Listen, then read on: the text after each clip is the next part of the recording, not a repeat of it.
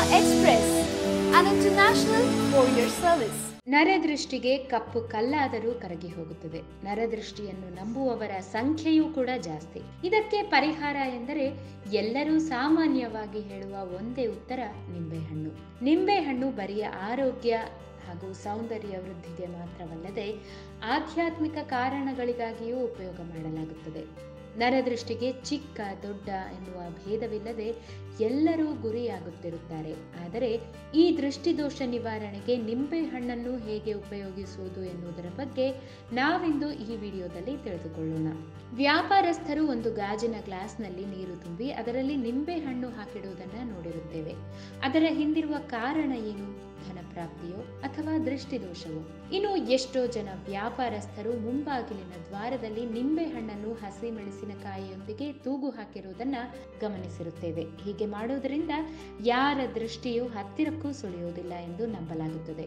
ಹಾಗೆಯೇ ಮಂತ್ರ ತಂತ್ರಗಳಲ್ಲಿಯೂ ನಿಂಬೆ ಹಣ್ಣಿಗೆ ಪ್ರಧಾನ ಪಾತ್ರವನ್ನು ನೀಡಲಾಗಿದೆ. ಇನ್ನು ಗುರುವಾರದಂದು ಆಂಜನೇಯನ ದೇವಸ್ಥಾನಕ್ಕೆ ನಾಲ್ಕು ನಿಂಬೆ ಹಣ್ಣುಗಳು ಹಾಗೂ ಕೆಲವು ಲವಂಗಗಳನ್ನು ತೆಗೆದುಕೊಂಡು ಹೋಗಿ ಪೂಜಿಸುವುದರಿಂದ ನಿಮ್ಮ ಕಷ್ಟಗಳು ತೊಲಗುತ್ತವೆ ಎಂದು ಪಂಡಿತರು ಹೇಳುತ್ತಿದ್ದಾರೆ. ಇನ್ನು ನಿಮ್ಮ ಮಳಿಗೆಯಲ್ಲಿ ವ್ಯಾಪಾರದ ಸ್ಥಿತಿಗತಿ ಚೆನ್ನಾಗಿರದಿದ್ದರೆ ಒಂದು ನಿಂಬೆ ಹಣ್ಣನ್ನು ತೆಗೆದುಕೊಂಡು ಮಳಿಗೆಯ, ಅಂದರೆ ಅಂಗಡಿಯ ನಾಲ್ಕು ದಿಕ್ಕುಗಳನ್ನು ಆ ನಿಂಬೆ ಹಣ್ಣಿನಿಂದ ಸ್ಪರ್ಶಿಸಿ ನಂತರ ಅದನ್ನು ನಾಲ್ಕು ಹೋಳುಗಳಾಗಿ ಕತ್ತರಿಸಿ ನಾಲ್ಕು ದಿಕ್ಕುಗಳಲ್ಲಿ ಅವುಗಳನ್ನು ಇಡುವುದರಿಂದ ಶನಿದೇವನು ಹೊರ ಹೋಗುತ್ತಾನೆ ಎಂದು ಹೇಳಲಾಗುತ್ತದೆ.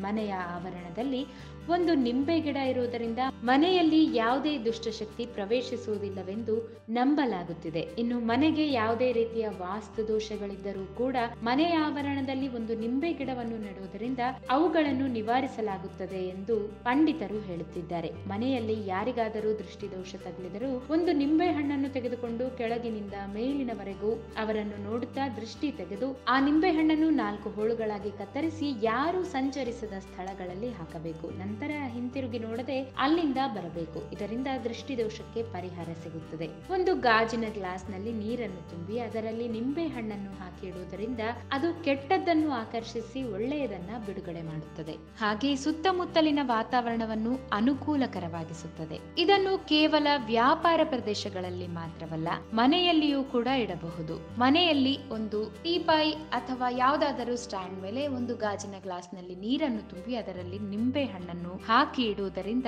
ದೃಷ್ಟಿದೋಷ ನಿವಾರಣೆಗೆ ಮಾತ್ರವಲ್ಲದೆ ಧನವೂ ಕೂಡ ಆಕರ್ಷಿಸಲ್ಪಡುತ್ತದೆ ಎಂದು ಜ್ಯೋತಿಷಿಗಳು ಹೇಳುತ್ತಿದ್ದಾರೆ. ನೀವು ಕೂಡ ನಿಮ್ಮ ಮನೆಯಲ್ಲಿ ಇದೇ ರೀತಿಯಾಗಿ ಮಾಡಿ, ಮನೆಯಲ್ಲಿಯ ದುಷ್ಟ ಶಕ್ತಿಗಳನ್ನು ಹೊರಹಾಕಿ ಧನಲಕ್ಷ್ಮಿಯನ್ನು ಆಹ್ವಾನಿಸಿ. If you like this video ಬೇಗ ಲೈಕ್ ಮಾಡಿ ಕಾಮೆಂಟ್ ಮಾಡಿ ಶೇರ್ ಮಾಡಿ ಹಾಗೂ ಯೋಯೋ ಟಿವಿ ಕನ್ನಡವನ್ನು ಸಬ್ಸ್ಕ್ರೈಬ್ ಮಾಡಿ.